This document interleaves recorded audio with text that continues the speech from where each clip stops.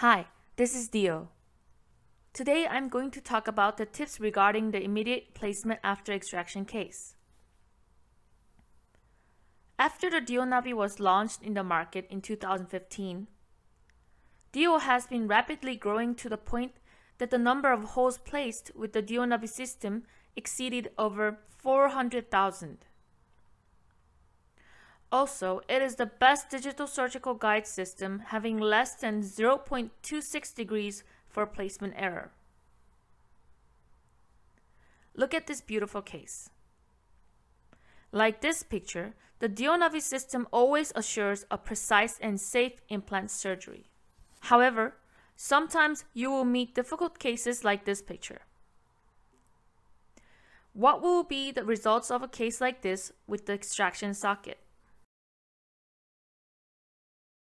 This is an immediate placement after the extraction case. If there is an extraction socket and the extraction socket hasn't healed fully, the initial drill is likely to slip easily.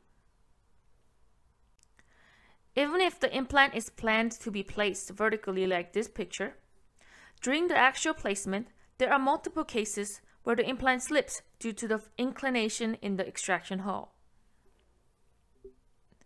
Today we will learn about the solutions to this problem. There are four solutions. The first solution is the step-by-step -step drilling protocol. The other three are solutions by specific drill use. The most important solution is the first one with the step-by-step -step drilling. And the part that is really overlooked is the fourth solution, which is about the proper use of the implant connectors. The first solution is the step-by-step -step drilling protocol. 2.0 initial drill with a drill tube can make the first hole very precisely in a stable manner. The sequential drilling from short drills can minimize the drill from slipping. The protocols on this page are standard drilling protocols from DioNavi. However, the protocol may change in an immediate placement after the extraction case. It can be applied like this page.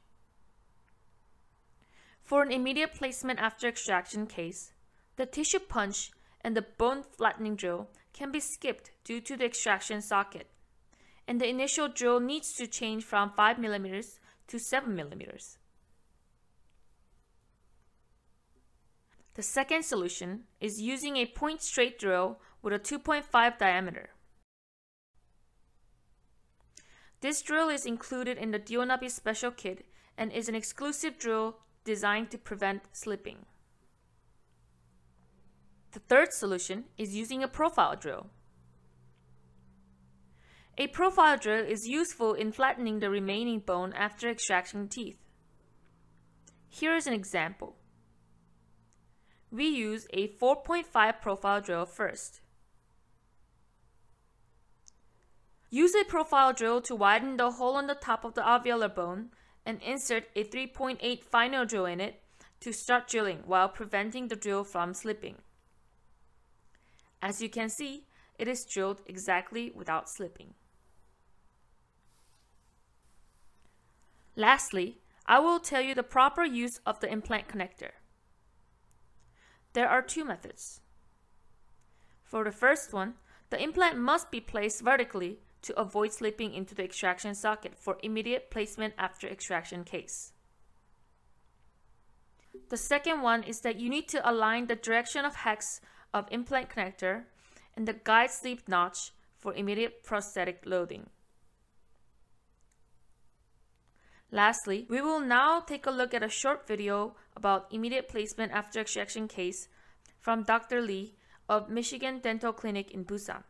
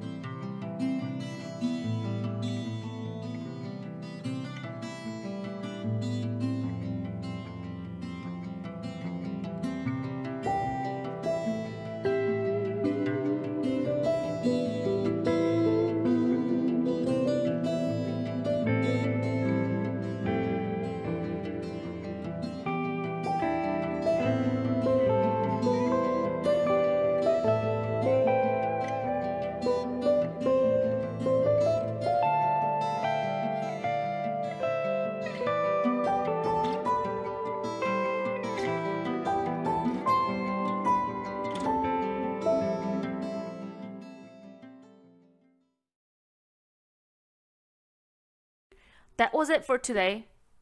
Thank you for listening. This was Dio.